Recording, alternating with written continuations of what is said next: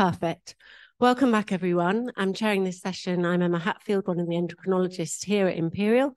I'm chairing it with Prof. Palazzo.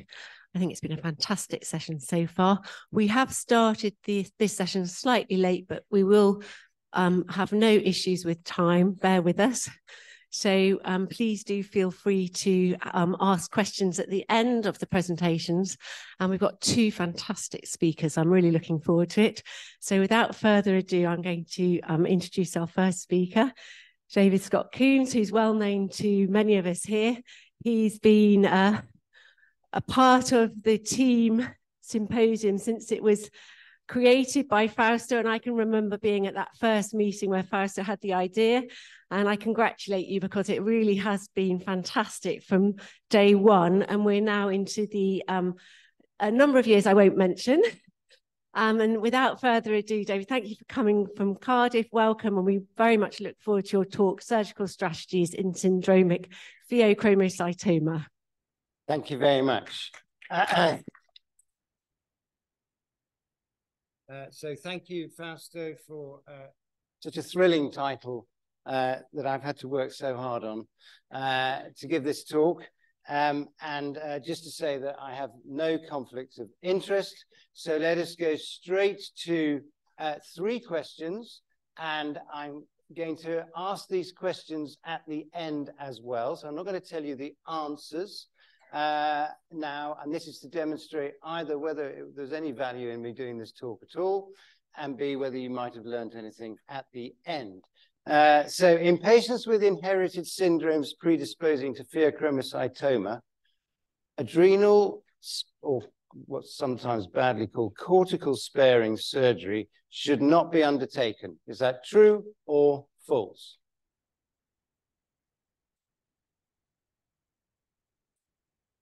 Okay. Uh, question two, the risk of malignancy is greater in paraganglioma than pheochromocytoma for all patients. A, true, B, false.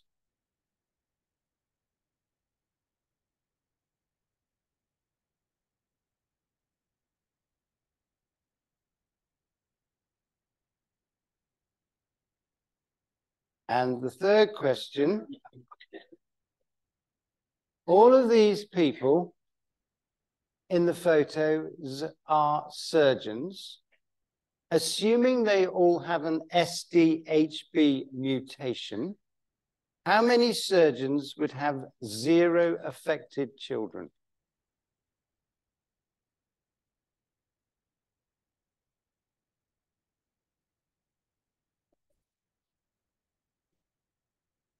Okay, so I think that means there is there is at least some merit in me speaking for the next 18 minutes.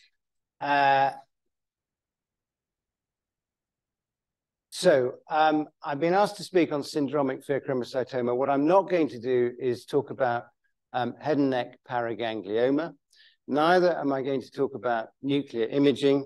Neither am I going to talk about adjuvant treatment because each of those are lectures in themselves. So to begin with, the highlight, you're all familiar, I hope, with the fact that we have two systems that regulate our homeostasis the endocrine system made up of discrete endocrine glands that secrete hormones under the influence of other hormones that have been secreted into the bloodstream. And then we have the neuroendocrine system, sometimes known as the diffuse neuroendocrine system, which is made up of glands spread throughout the body, including endocrine glands, which uh, also secrete hormones, but under the influence of nervous stimuli, um, hence neuroendocrine. And the shared characteristic of these tumors is that they are all amine producing, uptake, and decarboxylating. And we always used to think, um, a bit like crossing the placenta, all right, we always used to think that um, these cells were derived from the neural crest and then migrated out with the development of the embryo, but we now believe that they are all derived from uh, pluripotential uh, stem cells. Um, those tumors that arise from the neuroendocrine cells within the adrenal medulla are termed pheochromocytoma, and are abbreviated to PCC, and those that are outside the medulla, uh, mainly in the ganglionic tissue of the organ of Zuckerkandl, which is this sort of net of ganglionic tissue uh, over the anterior surface of the abdominal aorta, are known as paragangliomas, and together they're abbreviated as PPGL. So uh, I hope it's forgivable, uh, Karim and Fausto, that I'm actually talking about syndromic PPGL rather than just pheochromocytoma. And these tumors can be regarded to be either sympathetic or parasympathetic. The sympathoadrenal ones, as they're known, is make up, first of all, the uh, those in the adrenal medulla and those in the um, par the paragangliomas in the abdominal ganglionic tissue. And they tend to be uh, secreting uh, catecholamines, dopamine, whereas the parasympathetic tumors tend to have the majority clustered in the head and neck, the old chemodectoma, glomus tumors, all right, and they tend to be non-secreting, but a few are within the, within the abdomen as well. So syndromic PPGL is essentially a cluster of three cancer uh, predisposing syndromes, Uh, MEN, VHL, NF1, and as of this morning, 13 gene mutations. And they can be thought of as being either genetic mutations in the mitochondrial respiratory chain leading to hypoxic drive driven tumorigenesis or gene mutations in the intracellular cell signaling cascade um, that regulates cellular proliferation. And this cartoon attempts to sort of demonstrate where the actions, uh, particularly the SDH within the mitochondria uh, and VHL, and then for the cell signaling pathway, RET, as you know, in the transmembrane uh, tyrosine kinase receptor, NF1, etc. So we're probably much more comfortable with our knowledge of MEN uh, 2 and 3, previously known as 2A and 2B, where we know everyone has a medullary thyroid cancer and 50% uh, of people have pheochromocytomas, so adrenal medullary tumors, uh, where bilaterality is common. Um, interestingly, the presence of pheochromocytoma may suggest a more aggressive MTC, and that's something that Neil and Tom we need to think about. Um, and uh, and it used to be that that well, I'll, I'll, I'll come back to that. Von Hippel-Lindau disease, you'll be, if you're taking the MRCP, you could, you'll have learned and probably now forgotten all the diseases uh, that are in this syndrome. But of the PPGL, okay, again, the majority are benign and are adrenal pheochromocytomas, and bilaterality is again common. Uh, we subclassify uh, VHL1 into type 1 with a low risk of pheochromocytoma and take type 2 with a high risk of pheochromocytoma, and type 2 is further subcategorized according to whether there is a low or a high or a no risk of renal cell carcinoma. And then neurofibromatosis type 1, we're familiar with the clinical features, and in fact, PPGL are really quite a rare association with NF1, but again, most are pheos that are benign. The succinate dehydrogenase mutations are responsible for the paraganglioma syndromes, of which there are five. But two, three, and four are spectacularly rare and uh, rarely have anything to do with abdominal um, PPGL, and so we can disregard. Whereas SDHD, all right, um, are associated with multiple head and neck tumors, um, which are non-secretory, as I've said, and occasionally uh, with abdominal tumors, which are usually benign. And SDHB accounts for um, abdominal tumors, and uh, many of which are multiple and malignant. And in fact, SDHB accounts for 50% of all malignant paraganglioma. I just need to quickly whiz up to something here to point out that SDHD uh, and SDHAF2 and MAX mutations all have a, an inheritance that favors a paternal um, transmission. The key word we heard was imprinting, um, which I suspect, Professor Trant, you know what that means, but I don't. And I have spoken to our uh, geneticist just last week and said, please give me a simple way of explaining how this paternal transmission works. And Frau Capel said to me, we don't know. So no questions, please, uh, to me about that. So the key points to summarize, all right, is that RET, uh, sorry, MEN2 and VHL are associated with pheochromocytomas that are rarely malignant and bilaterality is common. SDHD is predominantly to do with head and neck tumors, but within the abdomen, uh, you usually have benign paragangliomas, whereas SDHB is, is where we should be having a higher threshold for suspicion of malignancy. So now to the nub of the talk, the surgical strategies, and we can think of this through the, the classic principles of endocrine surgery. So in confirming the diagnosis, it's the relevant biochemical tests.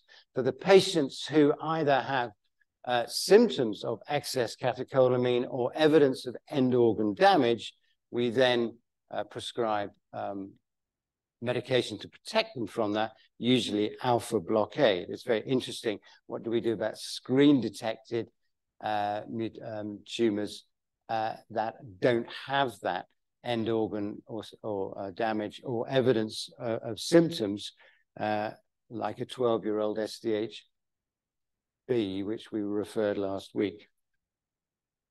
Uh, localization, there's many, many ways to localize, but essentially it's usually now cross-sectional imaging, favoring MRI for the younger patient to avoid um, uh, ionizing radiation and uh, Dotatate PET scans.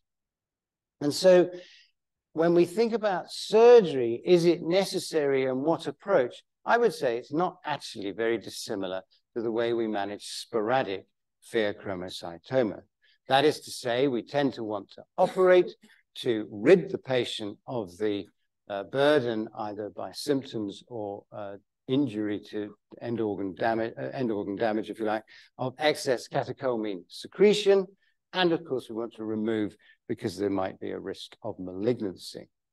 And in terms of what operation are we going to do, we have to be very clear in our MDT heads of what our surgical intent is.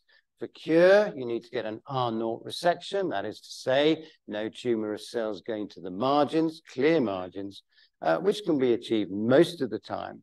But there may be a role for debulking surgery uh, to palliate the symptoms of excess catecholamine in those tumors that can't be completely resected, and it may facilitate peptide receptor radiolabel treatment. So there are many factors to consider uh, when we think as surgeons about the approach. Where is it? If it's in the adrenal, is it unilateral or bilateral? If they're paragangliomas, are they multiple or singular? How big are these tumors? And what is the risk of malignancy, influenced obviously by knowledge of the underlying mutation and the appearance on the imaging. And then there are certain patient characteristics. So as with all surgery now, everything is bespoke to the individual. And then the specific surgical considerations is just a really technical one. Can this be done minimally invasively with or without the robot that we just heard about? Or do we do open surgery? And for the um, pheochromocytoma, should we consider adrenal sparing surgery to avoid the burden of lifelong steroid dependence and the risk of Addisonian crisis? So here is a, a cartoon from um, Martin Walz's paper, Martin has been a guest speaker uh, at these symposiums twice, and he has uh, unbelievable endoscopic skills, which a lot of fine surgeons struggle to match. Nevertheless, he published this paper on 42 children and adolescents with PPGL, uh, 70 tumors uh, in 42 patients, uh, and uh, you can see the spread of pheo and paraganglioma. And he attempted uh, endoscopic resection in all patients, only converting in two. And the color scheme tells us whether he's done it retroperitoneally, transperitoneally, or extraperitoneally. And mainly, he was guided by the anatomy of the great vessels uh, and the relationships therein. In terms of patient's characteristics, here you see a trans-abdominal ultrasound scan from uh, Newport Gwent of, uh, of a, a, paraganglioma down in the pelvis. And here you see an adjacent calcified mass, which is the baby's uh, skull in this gravid uterus. Uh, and here is the paraganglioma at the confluence of the iliac veins and the IVC. And the concern was that as this uh, baby grew, it was going to compress and worsen the symptoms uh, of this catechol, uh, well, noradrenaline secreting tumor. So th this patient had open surgery uh, at 20 weeks. Uh, this is a 19 year old uh, girl with SDHB mutation and whilst the risk of malignancy is higher in these mutations, I do think that it's the imaging which really conveys either the suspicion of malignancy and also the the surgical, surgical surgeon's decision making about whether to do this open or laparoscopically. This is the kidney, this is the tumor, the renal vessels are going straight near it. And this is something that personally I wouldn't undertake laparoscopically, and I didn't. This is uh, that patient's sister, all right, and here you see one tumor, again, horribly located, uh, associated to the right renal uh, artery here, and the second tumor, the bifurcation of the aorta, and down close to one of the polar arteries. Again, this, this patient had um, a laparotomy. Uh, this uh, MAX mutation is fabulously rare and one of those paternally transmitted and is often associated with multiple tumors that can be malignant. This patient actually presented in Swansea in 2019 with all the clinical features of a pheochromocytoma. And here is the right-sided tumor, which was successfully uh, removed laparoscopically by uh, our colleague Richard Egan in Swansea. Uh, um, and postoperatively, his catecholamines never normalized. And it took quite a lot of hunting uh, and a trip to London to finally find uh, the paraganglioma uh, down here, sitting on front of the aorta, which uh, was removed laparoscopically by my other colleague, Michael Stechman, but only because the cameraman had such fantastic skills. Okay.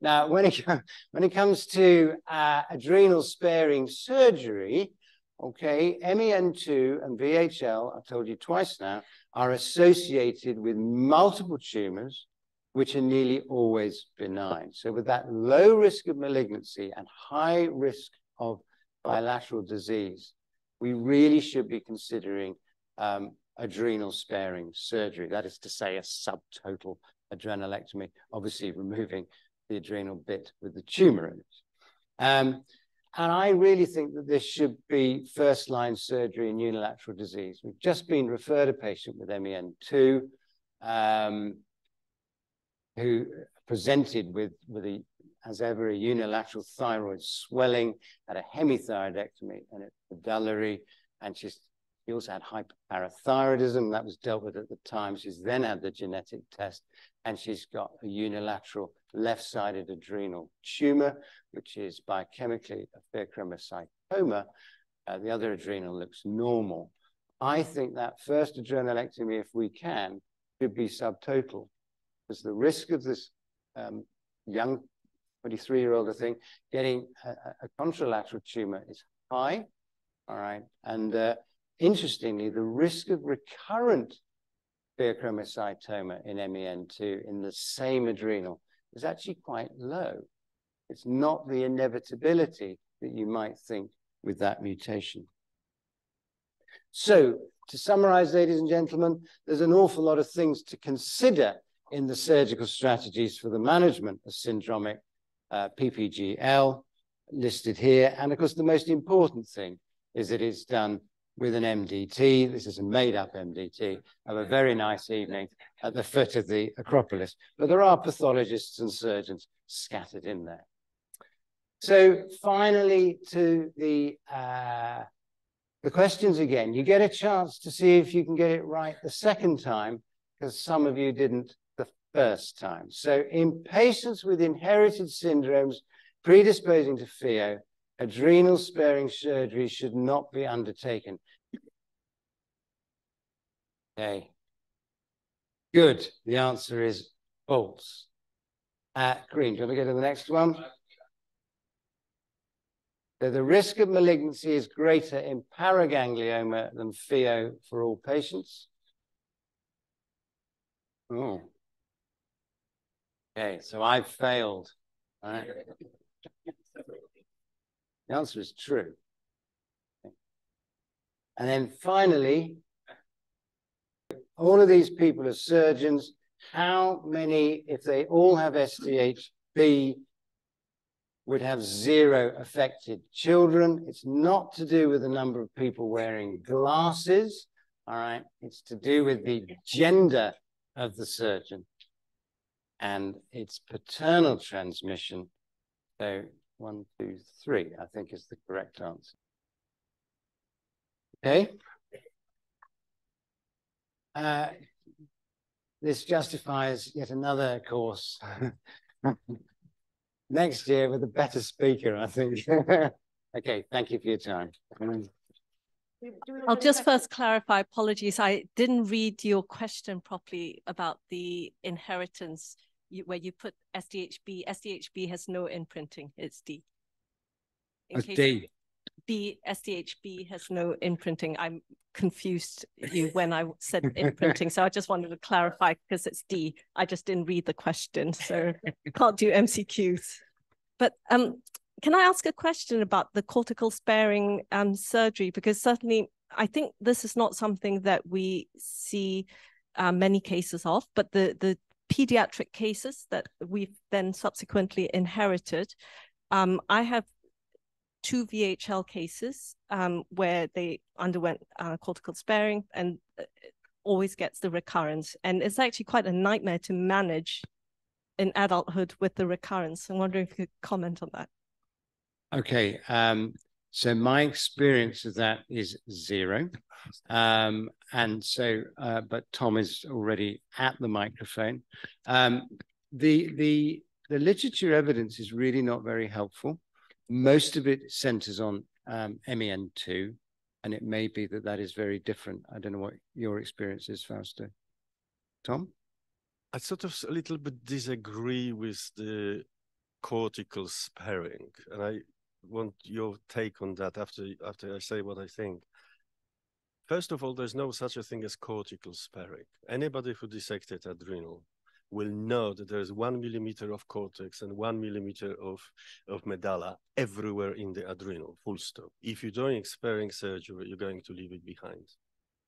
And when, what is your reading of literature, David? Because I gave similar lecture a, a week ago and I reviewed the literature and actually the evidence is shockingly bad because only the lower recurrences quoted are with the follow-up of up to five years. And there's only one paper which follows for 10 or 15 years, and that is 40%. You know, so so so suddenly you're going to the, the, the guest.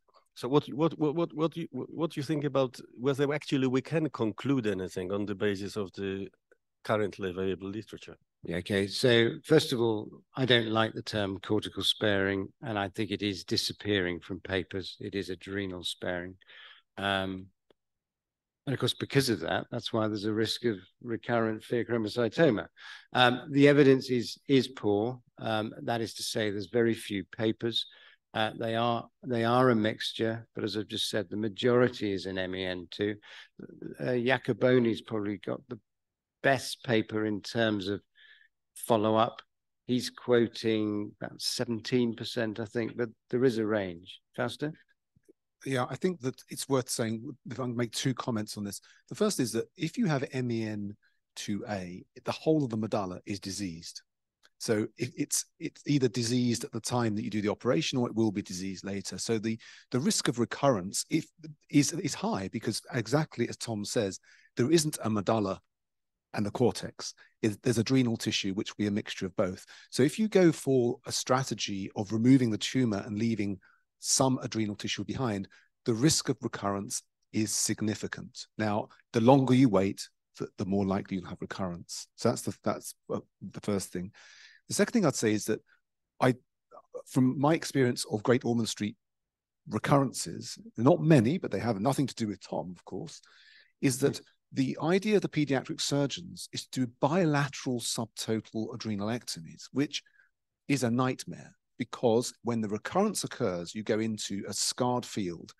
It's better to have a recurrence only on one side, and it's better to have the recurrence on the left because it is less likely that you could have potentially catastrophic hemorrhage during the operation if you're doing the operation laparoscopically in particular.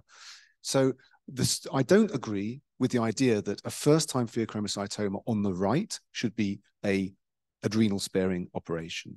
I think I would prefer to do a total adrenalectomy on the right side. And then if the patient has a recurrence, then you can choose the strategy for the desires of that patient. And I totally uh, agree with the predominant view, mainly coming from the United States, that there is a mortality associated with doing a total bilateral adrenalectomy, which suggests that if you can preserve some adrenal function, it's certainly in the patient's best interest to do so.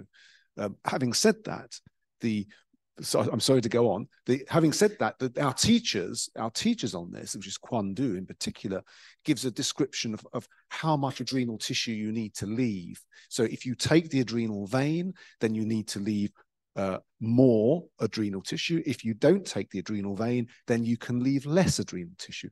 This is a very approximate strategy, isn't it? So I think we have to be. It's it's a it's a very invented operation when you do it, and sometimes even with all the will in the world, you can't find a bit of normal looking adrenal. Sorry to go on. So I I agree with all of that, and and I I came with the attitude. Uh, before really reading the literature and getting so nagged by our endocrine colleagues that we don't want patients on steroids that it was intellectually dull to do subtotal in a patient whose adrenal is programmed to grow into tumors. So I find it quite surprising, albeit with the uh, with the variance in the length of follow-up, but it doesn't appear to be inevitable. So I think it, it, it is a patient by patient um, thinking, and I agree about your views on left and right. And the index case I briefly referred to, she's presenting with a left-sided pheo, which isn't that big. So that's why I think we should be thinking about that because of the right side later. To sort of life imitating art. I mean, I just operated on on a boy. Uh, I used to. I, I looked after the last 20 years. So the people, the children I did a, prophylactic thyroidectomies are now coming up with with. So they did the right completion. And, and, and I think that what you've said is, is absolutely true.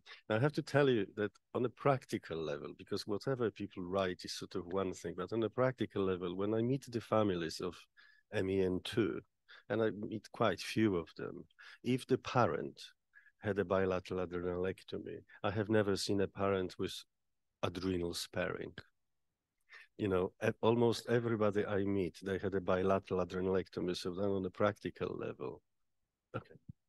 Well, I, I think it's a new thing. I think it is, it's a, it's a live, live, a, a debate that never happened before.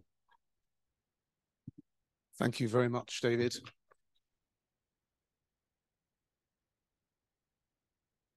Now, over the years, we've had many distinguished speakers at this meeting, and this year is no different. Uh, this year, we have uh, Professor Jan Zedenius from the Karolinska in Institute in Stockholm. Um, I should say, uh, uh full disclosure, I've known Jan for a very long time. Uh, we met we met uh, in a sliding doors moment for the Department of Endocrine Surgery, you might say, because it was a time when I was a registrar and I was looking for career support. And most of the career support I had received until that point was give up. So, because because endocrine surgery is a rarefied specialty, there are very few jobs and your, uh, if I can quote uh, the uh, the uh, the Rita assessment in Oxford, it was you're training yourself into unemployment. Good luck. Um, then I met then I met Jan on a train at the Millennium meeting, a fusion meeting, the BAETS, British Association of Endocrine Surgeons, with the American Association, which was between St Thomas's Hospital and Lille. And we were on the train. He might not even remember this. We we're on the train, and I was saying to him, you know, how what do I do? And he said, well, what you need to do is you need to go and do a really good fellowship. And Jan did the TS Reeve Fellowship, which is the most competitive English speaking clinical fellowship in endocrine surgery in Sydney. And he introduced me to who ran the fellowship. And I went later to do that fellowship. And Aimee Di Marco has also done that fellowship. So, Jan, had it not been for you, the Department of Endocrine Surgery at Hammersmith would look very different. so, um, I'm not going to say anything more than that and just say thank you. Thank you for coming. And um, we really look forward to hearing your, your talk.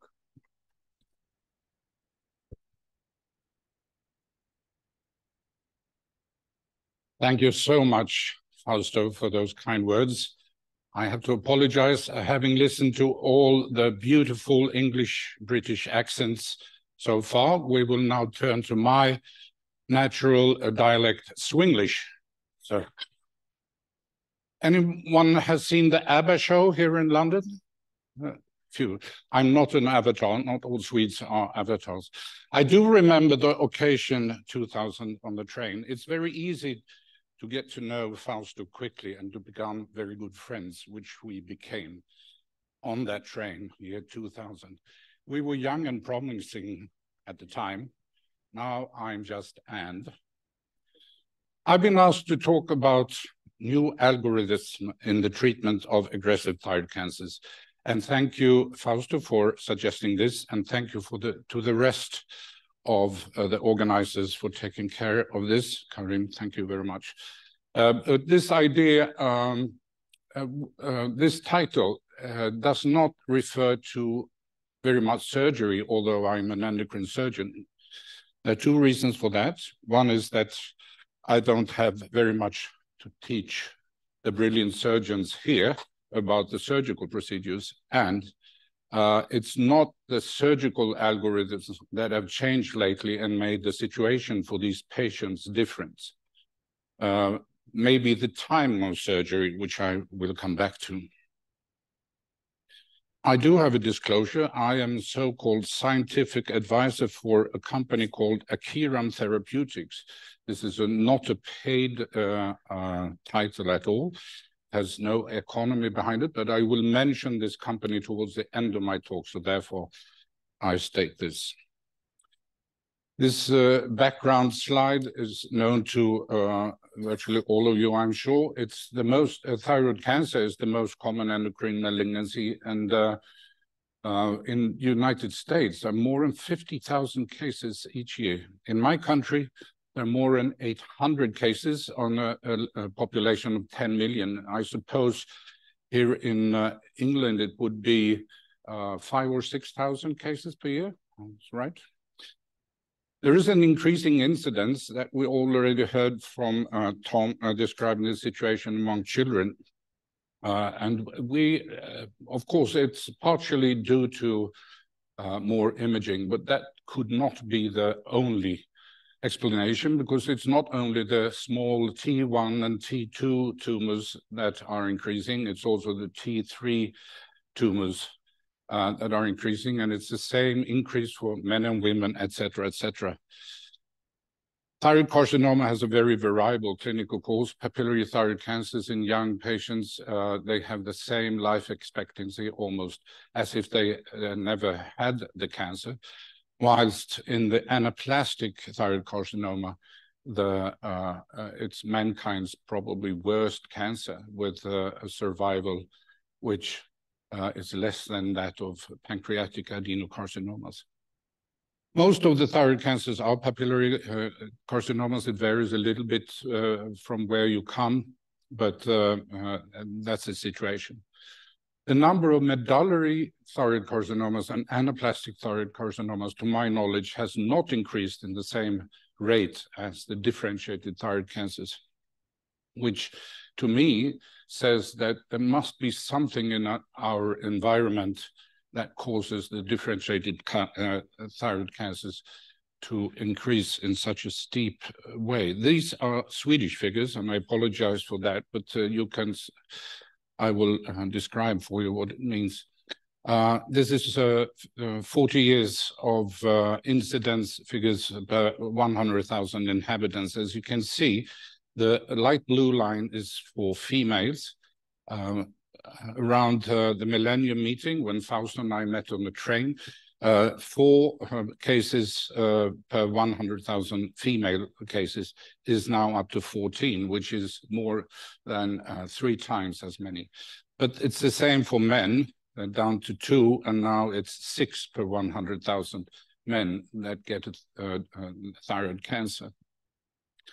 You see a dip here around 2020, probably attributed to the COVID pandemic.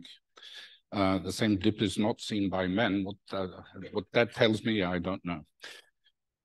Uh, the lower lines, the dotted lines, that's uh, um, uh, death from thyroid cancer. As you can see, it's almost half late years compared to the 1980s. So although the incidence is rising, death from thyroid cancer is lower than it used to be. This is the relative survival during the same period of time. As you can see, it approaches 95% for, for women. These are all thyroid cancers, uh, not just differentiated. If we selected only papillaries, the numbers would, see, would be even better, of course. Okay, so anaplastic thyroid cancer, the incidence is roughly three to five million inhabitants per year. So we see in Sweden uh, 50 cases in our country, at least those that come to di diagnosis and uh, treatment is discussed, then they end up in a registry. Uh, so there is a, a um, black, uh, what do you say? This could be a, a little bit of uh, tip of the iceberg. There can be more cases out there that we don't recognize. Uh, I, I, suppose this means that you have roughly six times more uh, here. So 200 cases per year, something like that. Age is usually older than other thyroid cancers, usually uh, above 70 years of age. The youngest patient I've seen my, I've had myself was a 46 year old lady, uh, a female colleague of mine, which was a dreadful experience. Uh, and but there are no major sex differences. A little bit more females than males, and maybe that's uh, uh explained by uh, that anaplastic thyroid cancer is uh, quite often preceded by long-standing goiter. And the prognosis is dismal, considered mankind's worst, at least 10, 20 years ago. Anaplastic thyroid cancer is by definition always stage four, regardless of the T and M uh, classification, the stage is always four. And uh, uh, the smaller tumors, uh, T1 and T3, uh, are stage 4A, uh, stage 4C are those with distant metastases. And then there is an in-between group with advanced, locally advanced cancers or metastases uh, in the region, in the neck region, but not distant metastases. And uh, from uh, a large study in the United States, we can see that the majority, at diagnosis are 4C. That means they already have distant metastases. And only roughly 10, 10% are those that are only in the thyroid gland. Maybe they are discovered uh, by chance. Uh, that is not presented in the paper, but the cohort is large. This is the Swedish algorithm that we have used for many decades until quite recently, and I would try to explain it. We um, gave these patients radiotherapy, external radiation, in a very aggressive program with uh, um, uh, hyperfractionated accelerated radiation during three weeks. Uh, and then uh, given them doxorubicin or lately paclitaxel to uh, uh, facilitate the radiation effect. So a very low dose just to uh, as a radiosensitizer. And two weeks after the radiotherapy treatment was stopped, there is a window of opportunity to remove the primary tumor, which uh, we have done also in 4C cases where it has been possible. Uh, and this material, which is quite old material, but it's uh, from our institution, 36 out of 59 patients could fulfill this, uh, this regimen. And of these that were operated, only one suffered from local advanced disease at the time of death. Uh, the rest died from metast metastatic disease, and a few were cured. Uh, so, uh, but not all patients can tolerate this very heavy treatment. Uh, at the end of the uh, radio treatment, they often need feeding tubes, etc. So here are the results, and what do they tell us? Well, first of all, of course, surgery is better than no surgery. There's a heavy um, uh, bias uh, in those figures, but some do uh, survive uh, long have a long-term survival, but we're down to approximately 10, 12% in this material. Um, so uh, again, we consider this operation to be a palliative operation to avoid the extremely difficult situation with a slow strangling tumor uh, for the last two or three months of their lives. I've seen a few patients die from locally advanced disease, and I never want to experience that again. It's dreadful. So if you can remove the primary tumor, it is of benefit to the patient. That was why we have used this protocol until recently. So what has been the change? Well, that's the molecular landscape of thyroid cancers and also anaplastic thyroid cancers. Again, the inner circle, the blue circle, uh, the resectable tumors are not that many uh, in the primary setting, 10% um, roughly, and the majority are 4Cs.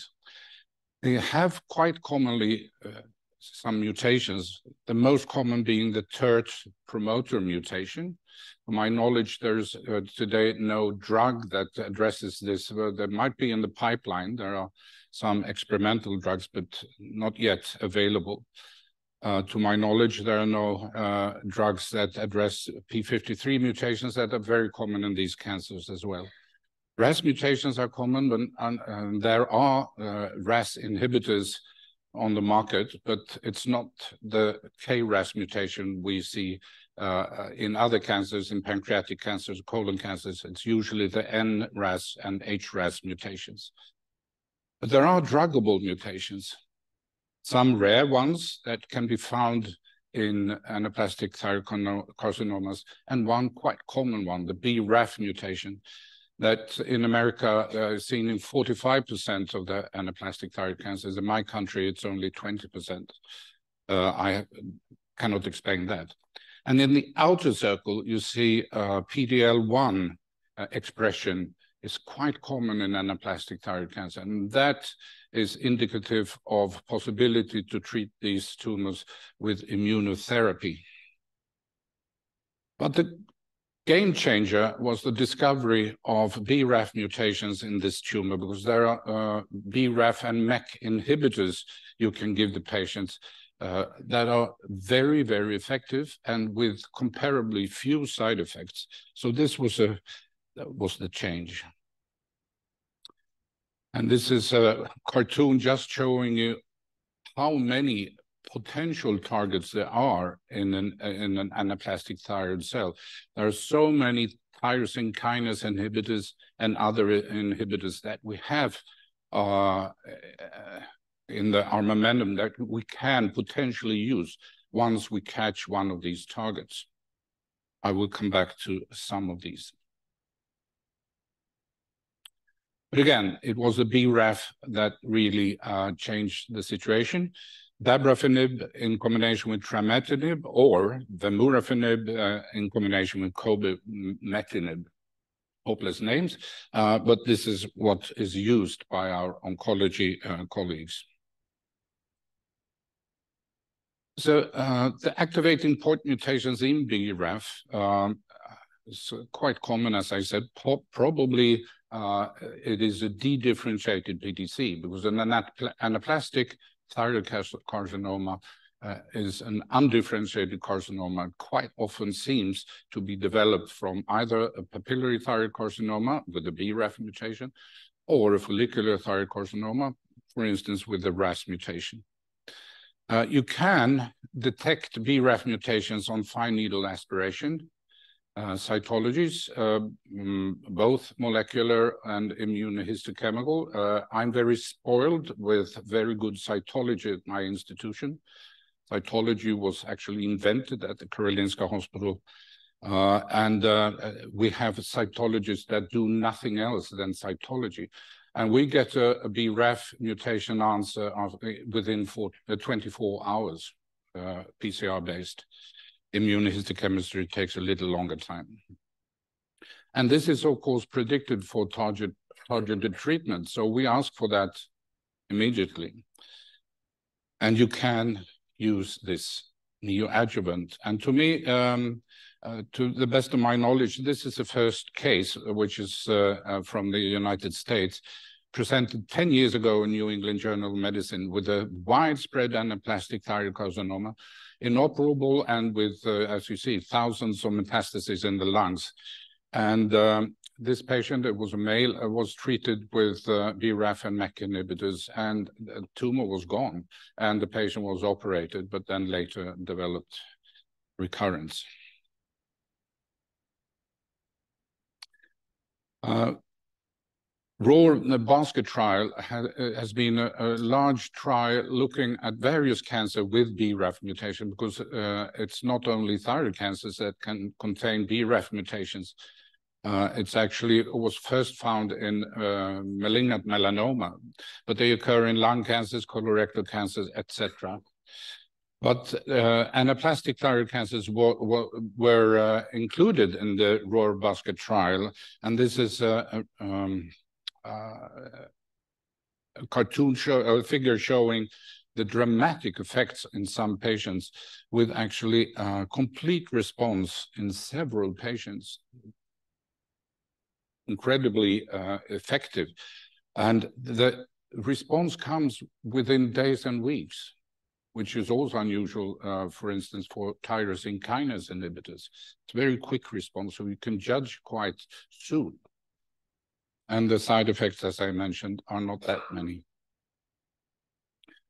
So this led to a new algorithm presented by the American Thyroid Association and the uh, very world famous uh, American design, I think has not reached the American Thyroid Association because this is not easy to uh, digest. So I will skip that one. Uh, this is uh, uh, our new program back home. Um, that is very straightforward and not very different from the American program. Very urgent processing is absolutely mandatory for these patients. As quick as possible, you should have a diagnosis and a workup. So um, the minimal diagnostics are a CT on the neck, chest, and abdomen, and then you can consider PET to look for uh, FDG PET to look for distant metastasis, fibroscopy should you uh, um, have a risk of ingrowth to the esophagus or the trachea, MR if you wish, and if the patient has neurological symptoms, which is not unique, uh, of course, a CT of the brain. Um, resectability, uh, is it possible to get an RO operation? That has to be judged by a very experienced thyroid surgeon and a multidisciplinary conference including radiologists, oncologists, and talented thyroid surgeons. A lot of these patients are very old and have heavy comorbidity, so it might be the wisest choice to just go to palliation and nothing else, best supportive care. But we do have the targeted therapy, which is a novel uh, uh, event the last 10 years or so. So we ask for mutation analysis in all these uh, genes, and soon, of course, next generation sequencing will be applied for all of these patients. What we want to uh, uh, achieve as quick as possible is the BRAF answer, because that could help us for neoadjuvant treatment of these patients, and also the possibility to give immune immunotherapy, and that can today, to my knowledge, only be achieved by immunohistochemistry, the expression of PD-L1, not uh, that's not a molecular test. So this is my poll question number one. A 78-year-old lady with tender nodule approximately as an apple, right lobe of the thyroid, rapid growth uh, since three months, and last month he's been hoarse and even difficult to swallowing. What is your preferred investigation upfront? Would you ask for a fine needle aspiration biopsy or a core needle biopsy?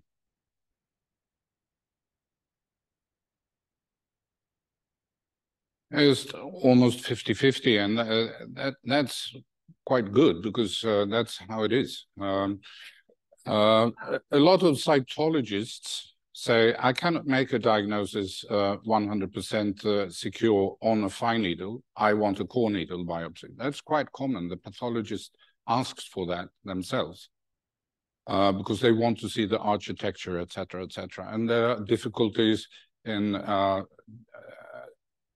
differentiating them from some lymphomas, etc., squamous cell carcinomas that could be an anaplastic variant. So uh, it depends on where you are. Uh, at my institution, again, cytology is fine. Uh, they are never um, hesitant to set the diagnosis ATC, but we would like to uh, do more core biopsies for the reason of uh, that we can do immunohistochemistry on these. So we can get more information and we can do more molecular testing on them. Um, uh, at, uh, again, at the Karolinska, the cytologists do the cytology, but if we want a core needle biopsy, we must ask an ultrasound radiography, the doctor to do the core needle biopsy. So uh, it's not the same quick passage for these patients. So we start with a fine needle biopsy almost always. Okay. So there is uh, another question. Should I? Now, this is the same situation, but this lady is on NOAC related to atrial fibrillation. Now, what is your preferred investigation upfront? Fine needle aspiration biopsy, core needle biopsy, or do you have to wait three days or two days uh, before you do any biopsy? This is not an uncommon situation today.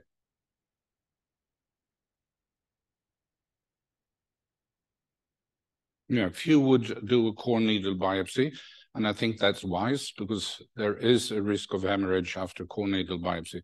Fine needle biopsy, very low risk still. Uh, even if they're on warfarin, we do uh, fine needle biopsies, and we have, of course, seen a few hemorrhages, but uh, uh not uh, hard to handle. You don't have to wait until you get the diagnosis, provided uh, you, have a cytologist who can do the fine needle uh, diagnostics. So this is not a very easy to digest flowchart either, uh, but I will try to highlight some things. Most people are 4C. You have to judge, are they fit for treatment? And not all are. And then you have to decide is are we going to palliative uh, radiotherapy or is it possible to apply systemic treatment? That's the first choice. To do surgery on these patients up front is heroic and of little benefit to almost all patients. You end up in sometimes in disaster with uh, locally uh, aggressive recurrences in the neck with tracheostomy, which is a situation you absolutely want to avoid because uh, the end of their life will be um, uh, uh, not nice. Try to avoid tracheostomies in these patients. Okay, if they have a BRAF mutation, it's straightforward. You ask the uh, oncologist for uh, systemic treatment. But it's also possible, uh, if you don't have any targets, uh, to do radiotherapy combined with low dose of chemotherapy. And then you should, uh, down the track, consider palliative resection if the response is favorable, either on systemic treatment or radiotherapy or other targeted therapy should uh, you have that possibility to avoid the dreadful dead of strangling. If you have a possibility to do RO resection up front, and if you have uh, a wild type, uh, you don't have a mutation in BRAF, of course, you go for primary resection, uh, and then you can do uh, sorry, uh, adjuvant intensity modulated radiotherapy combined with chemotherapy. If you have a BRAF mutation, you have a possibility to neoadjuvantly treat this patient, although you judge it to be resectable, to make it even an easier operation and to see that it is uh, uh, treatable with these compounds. Or you can wait, of course because there is a risk of developing resistance to BRAF inhibitors and MEK inhibitors. We now know that five years down the track. And again, uh, the two, uh, uh the 4B uh, situation, you do re-evaluation if it is resectable, and of course, you try to operate for these Uh, patients uh, uh, if you can. These are um, figures from MD Anderson in this very large cohort. And as you can see, in the late years, the blue line here, the survival is 40% after two years, which is totally different figures than we experienced just 10, 15 years ago. Uh, it's a slight bias here because these are the patients that were treated. Uh, but of those that are possible to treat, you have a two-year survival of 40% it's a game changer. Now to totally different uh, attitude, but um, uh, in the same, uh, uh, it's in the vicinity of what I've just talked about. And these slides were presented in the Chicago meeting just a month ago, and I borrowed them from Mark Sywak, who is in the at the University of Sydney in the um, in the center which we had our fellowship, me and Fausto Palazzo. And the background is, of course, that some anaplastic, and in this case also medullary thyroid cancers, are inoperable at presentation. But there are reports of neoadjuvant targeted molecular tr treatment that can change the situation for these patients. And this is what this is about. It's a very small series, only four cases, but the concept is of interest. Two medullary and two anaplastic. The two anaplastic uh, were very um, advanced, and one had several lymph node metastases.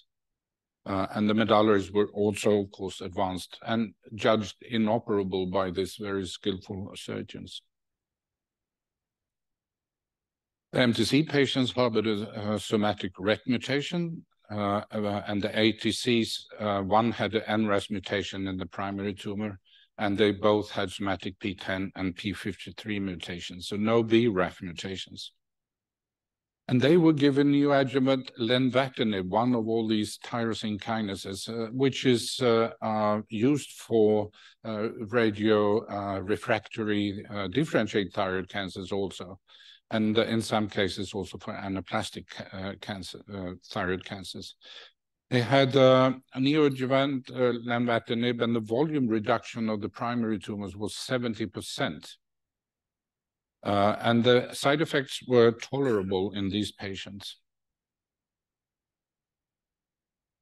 And both uh, uh, medullaries could uh, have a total thyroidectomy and uh, lymph node dissection, and the ATCs underwent hemithyroidectomy. There is no reason to do total thyroidectomy uh, uh, provided the tumor is situated at in one lobe. You don't have to take out the other lobe because you won't give, give these patients uh, radioactive iodine, and it's almost never a multifocal tumor.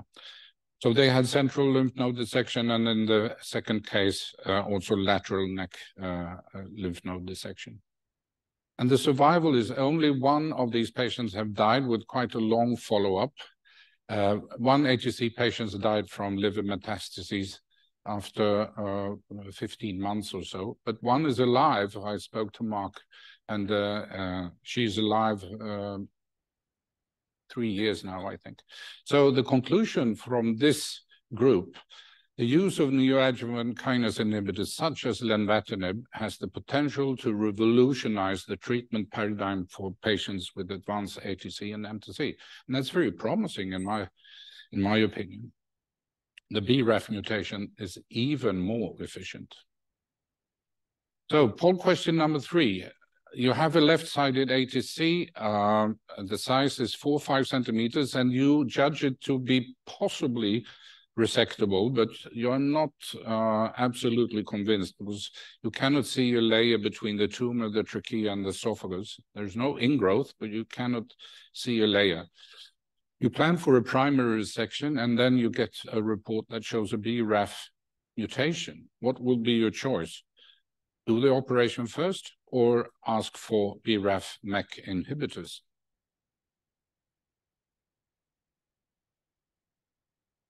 Great. I would too, uh, because it will change your operation considerably, most likely, if they respond to treatment, which most of these patients do. Not all, but most respond to treatment. And as I mentioned, you can quite soon judge if they respond or not. Within a week or two weeks, you can say, this is a non-responder. Now I will turn over to something very different, uh, the last part of my talk. This is the first time I present this project, so bear with me if it's not crystal clear. Uh, I'm happy to answer any questions. First time this is presented outside Sweden also, so um, it's a bit of a thrill. Um, this is antibody-based molecular radiotherapy for anaplastic thyroid cancer. And uh, you may all know how this is uh, uh, conducted. You have a tumor cell with a presenting antigen epitope, and you produce antibodies somehow connected to uh, a, a, an isotope that causes uh, radiation. A normal cell should have no or very little expression of this antigen, of course, otherwise you will experience severe side effects. The goal and strategy for this project, which I've been working on the last four or five years uh, is treatment of refractory thyroid cancer. And uh, the strategy is a radio-labeled CD44 V6, V6 targeting antibody for molecular radiotherapy. And I will come back to what CD44 V6 is, of course. Uh, as you know, uh, molecular radiotherapy is not novel. Uh, this is uh, um, uh, the um, lutetium dotatate study from a couple of years ago that really showed progress, progression-free survival in those patients that received uh, this compound, the molecular radiotherapy, compared to controls, huge difference. And later studies also have shown survival differences.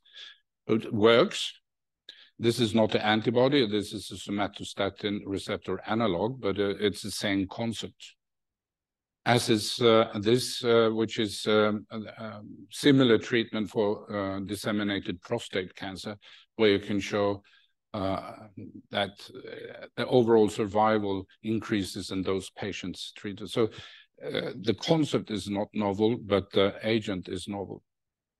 So the antigen CD44V6, we discovered the expression of that in anaplastic cell lines almost by coincidence, looking for other things actually. Uh, it is a splice variant of CD44, which is a well-known uh, membrane uh, receptor, uh, sorry, surface protein. This splice variant is displayed on several cancer cell types, uh, mostly epithelial uh, derived, but not in normal tissue, luckily, apart from keratinocytes in the skin and we direct uh, the treatment towards a variable region in this uh, molecule.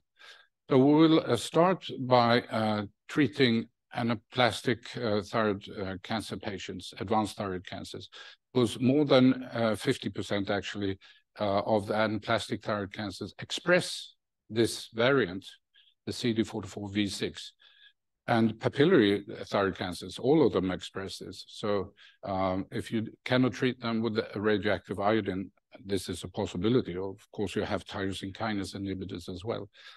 But there are other cancers that express this. Uh, these are very rare cancers, uh, but much more common cancers also express this target, which is possible to attack uh, with this uh, antibody.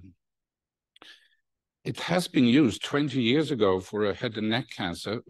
Uh, it was another uh, antibody, obviously, and was also an, another isotope, rhenium. Uh, but that was 20 years ago, and uh, uh, no company wanted to invest in this. It was too early. It was in the beginning of molecular radiotherapy, so it never, it never was never presented other in in a paper. So we have a core facility in our country called SciLife Labs, Science for Life Labs laboratories. That's a core facility that is, exists in all university hospitals. And we can ask them either by a joint venture where we uh, get researchers together and do projects together, or you can buy what you want if you have juicy grants. We didn't have that many juicy grants, so we have done this as a, a cooperation and we ask them for antibodies towards CD44V6. And I won't go all uh, through all the steps, obviously, but what you want is a selection of purity to characterize how they work, affinity maturation, etc., etc. So uh, we must also be able to radio-label these antibodies. We must have specific specificity assays and look how they um, how they seem to be distributed on imaging. And these are mice that have anaplastic thyroid cancers injected in the thighs. Uh, so we can see that it lights up on, on, on a scan. And uh, you look at the biodistribution, and we selected this specific AKIR1 antibody because it had a very high level in the tumor in contrast to in the bone marrow, which is much lower.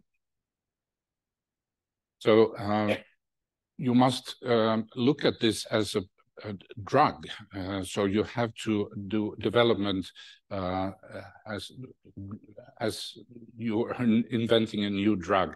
You have to look at stability during storage, of course, side effects, and that you can produce it. Otherwise, it's all in vain.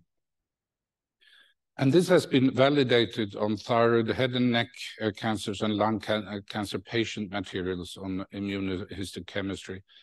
Uh, so we have a lead candidate, and we've used this on animal experiments. And uh, of course, in mice, it's very black and white. Uh, reality won't be, but all the patients, I was going to say, all the mice that were treated with this antibody with uh, connected to lutetium, they survived and all the controls died. It's it's the same figures, but uh, presented in another in another way. We had to repeat this several times, of course, and we choose other uh, aggressive ATC cancer models. And again, all the treated animals were cured and all the non-treated animals died. Then we have have to look at toxicity. So we've been looking at rabbits and cynomolgus, which is a monkey uh, with the same uh, CD44V6 uh, construct as in human beings. And uh, there is no uptake uh, where it should not be an uptake, which is very, very promising. So what we're now looking at is we've we've finished the regulatory toxicology. Uh, we are producing candidates for clinical studies. Uh, so in the beginning of next year, January or February, uh, we will treat the first patient, and we have to uh, uh, choose an anaplastic thyroid cancer because that's what uh, the ethical committee has allowed us to start with, because we don't have anything else to to offer these patients. We will do imaging study, immunohistochemistry, and if they express this antigen, we will give them treatment uh, in a phase one fashion. If this is sufficient, of course, we will do a phase two uh, basket study with other cancers. Uh, so um, this is a project uh, which has been led, uh, the basic science part, by Marika Nestor in Uppsala, which is 70 kilometers north of Stockholm. And I've been uh, a PI for the clinical part, but there, there, are many people involved, of course.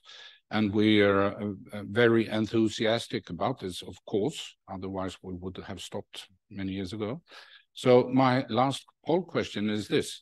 Now, having seen all these preclinical data, how much do you wish to invest in Akiram Therapeutics Limited shares? Akiram, if you read it backwards, it's Marika, and that's the first name of the uh, basic science PI, Marika Nestor. So five pounds, 5,000 pounds, or 500,000 pounds? Not bad. I have some contracts down at the coffee center. yeah. Uh, wonderful. I got a question, and I saw a question here. What is PRRT different from molecular uh, radioactive therapy? Um, PRRT is uh, a kind of molecular radiotherapy, so there is no difference. The difference here is we're using antibodies and uh, uh, PRRT, a peptide receptor uh, directed rather than antibodies. So with this, I thank you so much for your attention, and I'm happy to answer any questions during lunch.